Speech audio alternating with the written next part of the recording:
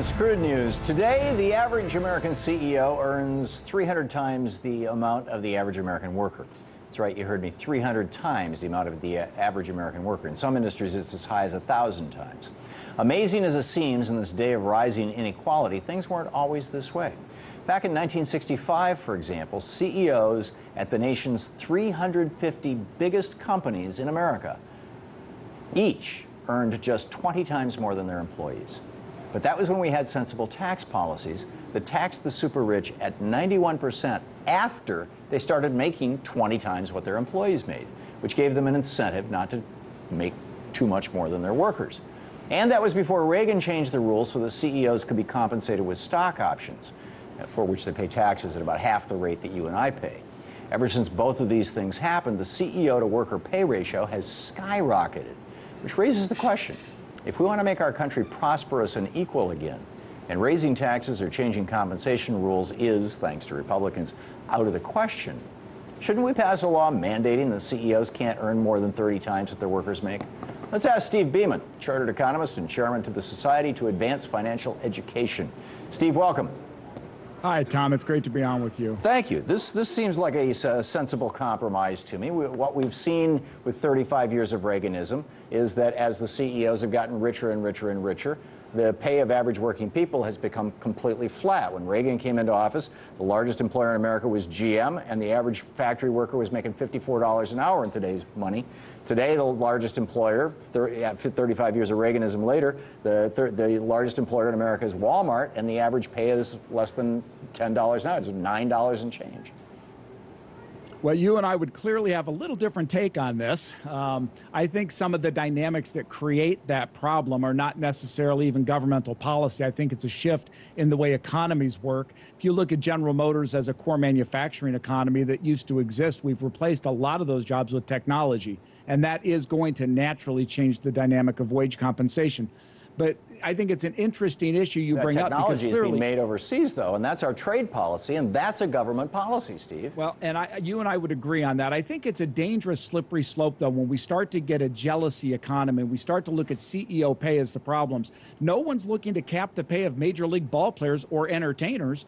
We're looking to cap the pay of the people who build these companies, well, and since uh, half of America, but let me, half of America no, owns Steve, the stocks. I'm, I'm fine with capping the pay of entertainers, and, and you know, also, and in fact, back, you know, back in the day, I mean, you know, you, you go back and you look at, you know, Bing Crosby and those guys. I mean, they weren't making the kind of money that entertainers are making today. Lucille Ball, I mean, they were doing well, but they weren't making this kind of money. And the reason why is once they made about 20 times what the average worker makes, suddenly they were in the 91% tax bracket, and they said, enough already. And the reason why I'm saying this, Steve, and you're an economist, I, you would understand this, is that one, at a certain point, when somebody starts making more and more and more and more and more money, that money starts becoming non-productive in the economy. They put it in Swiss bank accounts instead of you know investing in factories and things, or they're or we because we've changed our trade laws, they're investing in factories in China. But the fact of the matter is that it's not part of the productive economy. Whereas when it used to be that workers were making that money, what did they do? They went to the local store and spent that money to buy things which created demand, which grew the economy. We had four consecutive decades, the 40s, 50s, 60s, and 70s, of over 3% average GDP per decade. The first time it had ever happened in the history of the United States, and it was all while the top tax rate was 91%. I, I, think you make a very strong populist argument. I would disagree with your premise that that money is not put to good use. If we look, for example, at Pepsi, which is a big consumer company, the chairman of Pepsi made a salary of 1.6 million, which that's a lot of money. But the bulk of the compensation is off of stock.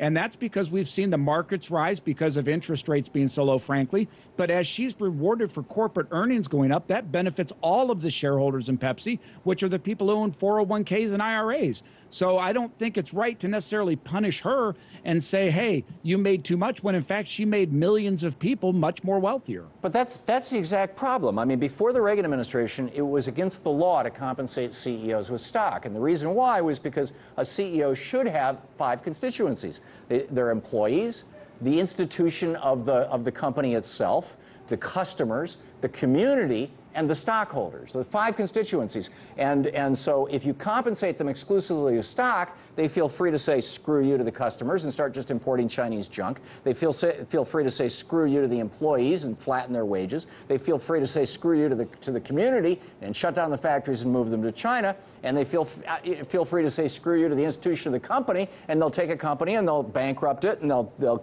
throw out the pension, to steal the pension money and, and, and bankrupt it like Donald Trump done seven or eight times uh, or, or combine it with some other company. I mean, this idea of compensating CEOs exclusively with stock or largely with stock is causing the destruction of American business. Well, I, I, would take a different approach to that. Clearly, I think you and I can have a good discussion about it. I respect your opinion, but the reality of the situation is these people don't have five constituencies. A CEO works exclusively for the board of directors, whose sole constituency is the shareholder if, to your point, they're bringing in crap from China, they'll lose their business. And that you and I could talk. That's General Motors. And what happened is GM should have been allowed to go out of business. The fact is that the management of that company did run it inefficiently and ran it sloppily and were overcompensated. So I think in general, though, the CEOs for most companies, the New York Times had an article in which they agreed that company performance is largely related to CEO compensation. The more they make, the better those companies do, and that benefits everybody. You know, according to the Institute for Policy Studies, 40% of the highest paid CEOs over the last 20 years have either been fired, bailed out, or sent to jail. Well, These are the guys I, I who think, should be making all this money? Well, I don't have a problem if a board of directors tries something. I sold my company to Charles Schwab. At that time, Dave Pottruck was CEO. The board, after that, he had made a couple of missed calls and they let him go. Yeah. I think that's the shareholders' decision through the board of directors, and it keeps us out of a situation where crony capitalism becomes the mantra, and that scares me more than any of it. Steve, you have the last word. Thanks for dropping by tonight. Well, thank you so much.